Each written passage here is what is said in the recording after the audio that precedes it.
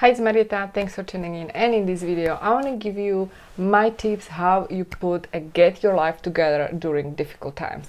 Coming up. Alright, guys, if you're new to my channel, welcome. Make sure to subscribe, make sure to hit that bell notification button, and let's get started. So, today's topic is how you get your life together during difficult times. Now, the reason I want to do this video is because 2020 has been crazy year, crazy for all of us crazy on so many levels.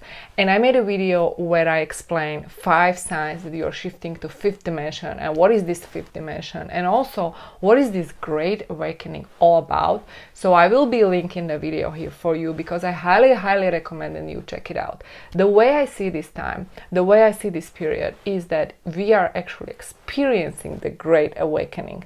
Now the great awakening is not going to happen when everything is smooth and easy and beautiful. The Great Awakening usually happens when there is a dark night of the soul, when we are facing challenges, when we are forced to go within. Actually, when we face the challenges, it's the time when we are forced to go within. Otherwise, you would not go within. And when I say go within, I mean to start your meditation practice. I mean to develop these uh, new habits that will help you to cope during challenging time. And number one is self-care. What you eat, how you think, how you feel, all these are connected because the way you think is going to trigger your next action and your next action will determine how you feel. So this is all connected. So how you think, how you feel, and how you act, this is all interconnected. And when there is the bubble fear, the global bubble of fear that is forcing us to actually go within, that's usually the time when we have so many breakthroughs. And yes, it is challenging. Yes, it feels like the old self is dying, and because of that, it's scary because you don't know how your future will look like. We don't know how humanity will look like. But at the same time, it is the time for us to really go within and tap into that inner power. Because every every single one of us has actual inner power that is here to guide us and that is here to actually tell us what to do especially when we feel lost when we feel confused and when we feel depressed. You have to tap to that inner power and that is how you cope with challenging times. And these are unprecedented challenging times unprecedented. And so it's so important for us to tap into that power individually. Individually, when we tap into that power, we will be able to see the change in our individual life, and as a result, we start influencing other people in our close circle, whether it's your family members, your friends, and so on, even your clients, your colleagues, team members, and so on. Because when you shift your energy within, you actually create the ripple effect. And the idea is to create the ripple effect for humanity so we can help each other. We can help each other grow, we can help each other heal. This is the time of great healing. All the darkness is coming up to the surface.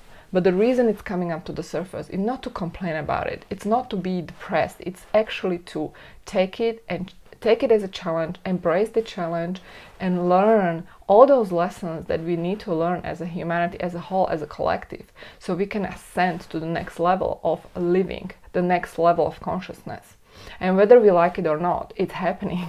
So whether i mean you can you can resist you can suppress all these feelings you can resist you can act like no biggie everything is fine everything will go back to normal the truth is the normal wasn't really working the normal wasn't working for anybody the work the normal the normal chances are wasn't even working for you and so we don't want to go back to normal. We will never go back to normal. We are already different.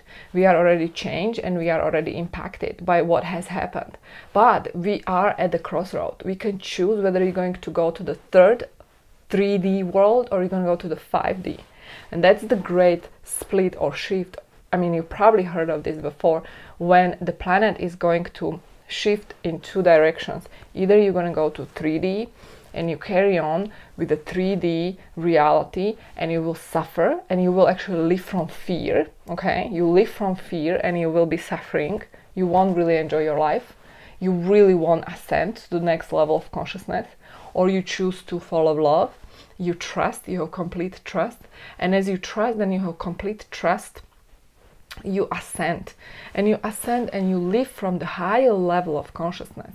So it's it's not like you're going to see two different earth like one earth another earth. In fact what's really going on it's your inner world where you're going to tap into the lower frequency or you're going to tap into that higher frequency. And the higher frequency is the frequency of love and that frequency of love is within every one of us but it's our job to tap into it and it requires training now, the tapping into this low frequency won't happen just because you decide. Well, actually, it does happen. It's the first step is to decide that you want to tap into the frequency of love.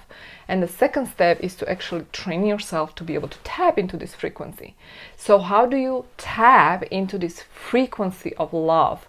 Well, several things you can do. Number one, you need to absolutely need to, and you have to, and you must start your daily meditation practice.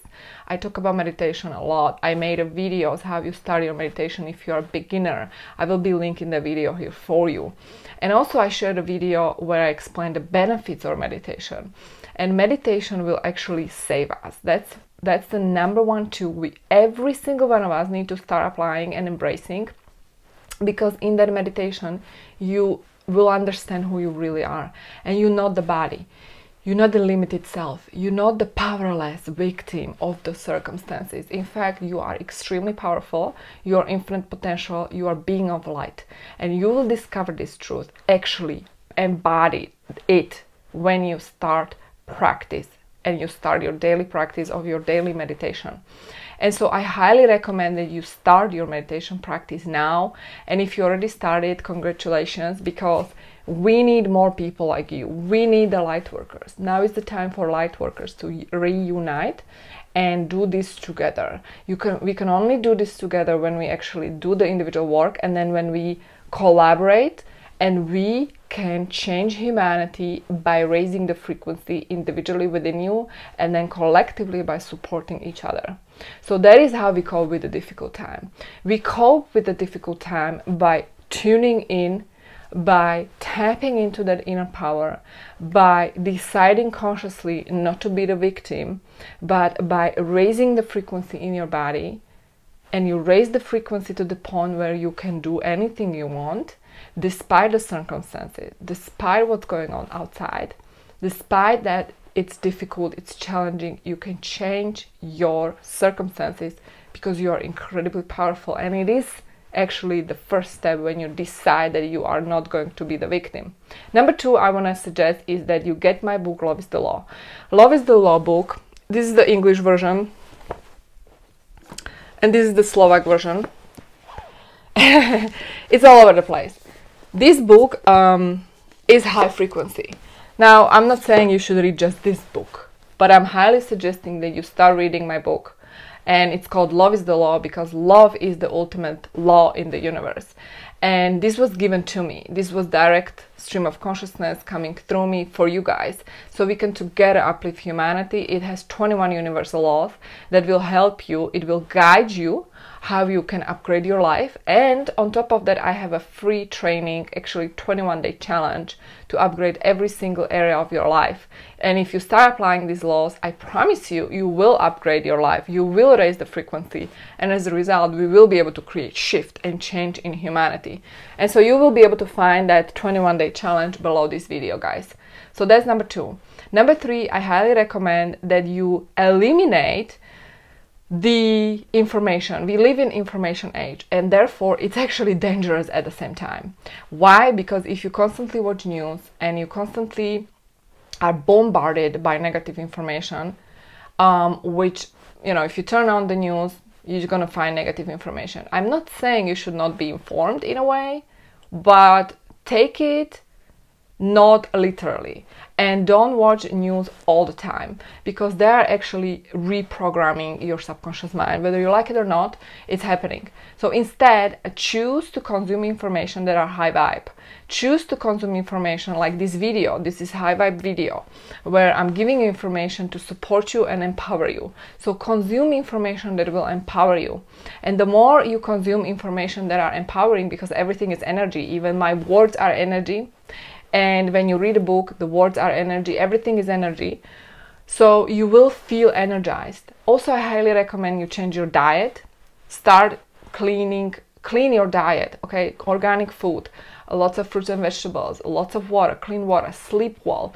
I mean these are these are simple things but it will change your life. If you do it on daily basis you will see the benefits and you will feel better and stronger.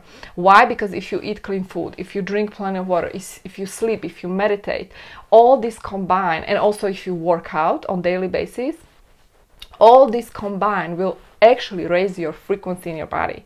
So the goal is to raise the frequency in your body and stay there. Stay there. Don't lower it. Don't lower your vibes. And if you are around people who are constantly gossiping, complaining, they're heavy, they have a heavy energy. I mean, this might sound selfish, but it's part of my personal self care. Uh, if I feel that these people are draining me, I stop talking to them.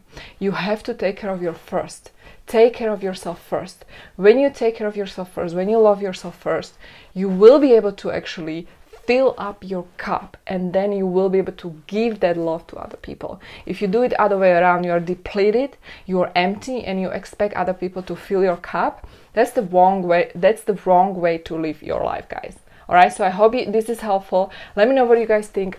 Share your videos, share your videos share your ideas below this video and stay tuned for my upcoming videos. See you soon.